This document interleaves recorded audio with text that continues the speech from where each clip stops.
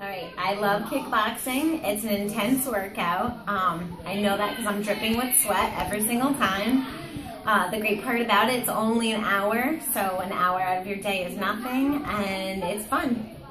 Love it. Good. It. All right. Awesome.